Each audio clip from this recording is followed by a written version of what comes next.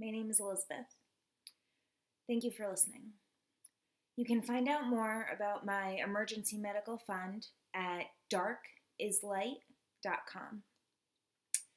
My health has slowly been deteriorating over the last few years.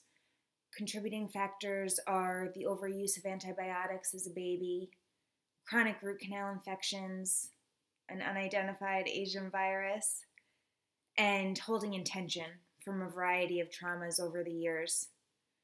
I had all three of my root canals retreated last year, and my first one was pulled out on an emergency basis three months ago because all three had failed.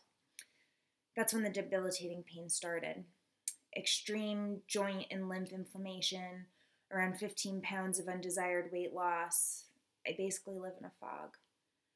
I can't go anywhere without my grandmother's pink floral cane and a nest of pillows. I'm slowly recovering, but I'm stressed. And I'm depleted, exhausted, and a little scared. I still need two final extractions, some pretty extensive jawbone work, and to have my oral and intestinal bacterial infections healed once and for all. I feel the US healthcare system has failed me. I've been through four hospitals, 14 dentists, and 36 different kinds of doctors. All in all, it's around $70,000 in medical bills. I have my master's in library and information science, so I've researched every aspect of my situation.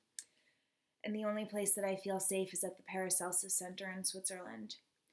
Their biological, medical, and dental facilities work hand in hand. They're familiar with my situation, and they know how these types of things contribute to chronic disease. I'm asking you to donate to help pay for my treatment. I'm asking you to share this link and my website.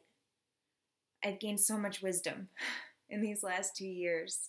I have extensive Medicaid experience, and I really do feel in a prime position to inject some innovation and personal empowerment into the way our world treats healthcare. I have hope. With so much love and gratitude, I'll talk to you soon.